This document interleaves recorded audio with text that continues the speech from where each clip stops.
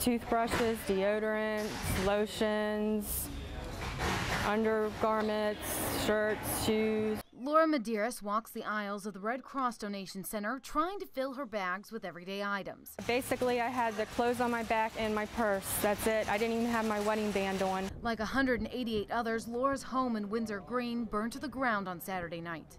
By the time we got down to our car, I'd say the fire was probably about a foot away from the car and heading towards our building. Laura got her grandmother and herself out, but the images haunt her, even as she grabs items to survive. So many other people that need help. I feel like I don't want to take, you know, I'm taking too much.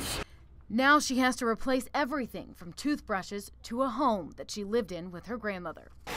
I've been going out getting my grandmother's medications for her, calling that in. But at the end of the day, Laura reflects on the fact that they escaped unharmed. And I'm just glad that we got out safe and, you know, that we're still alive because I know that if I was not there, my grandmother wouldn't have answered that door and I don't know if she would still be here today.